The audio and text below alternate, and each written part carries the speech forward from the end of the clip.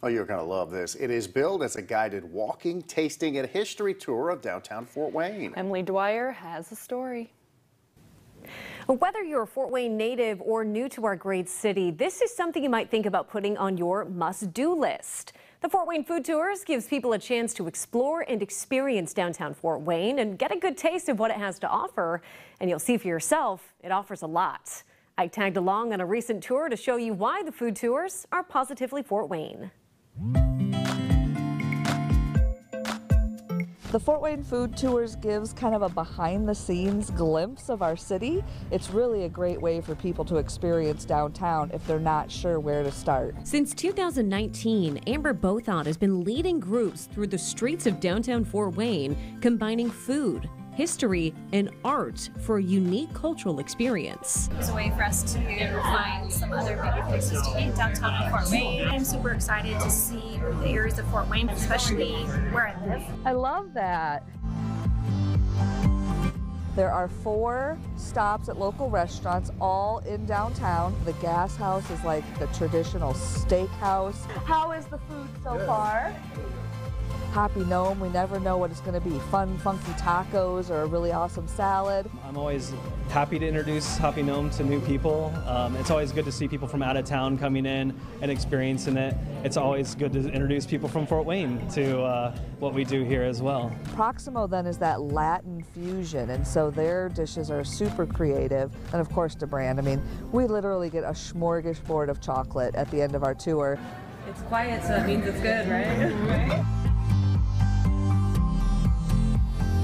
kind of start in the mid 1800s. This is where the Wabash Erie Canal used to run through. And then we fast forward into the 1960s and talk about the origination of the arts campus.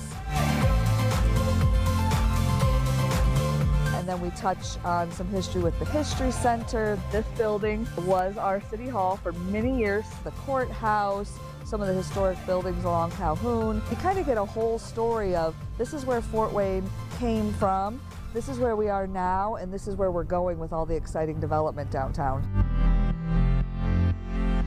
I am a passionate arts advocate, and I've seen what it's done to transform our downtown into a true destination for tourists and locals alike. I really wanted to infuse that.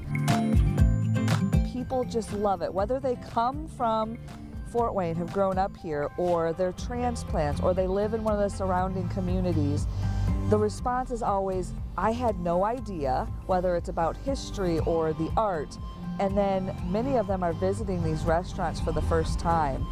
It has shown people who might not frequent downtown that our downtown is a safe and vibrant place to be.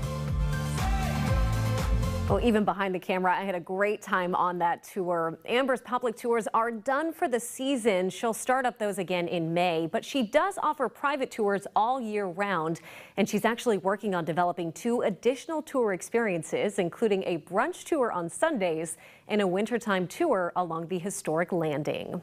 To learn more about the Fort Wayne food tours, just head to this story on WANE.com, Hit the news tab and look for Positively Fort Wayne.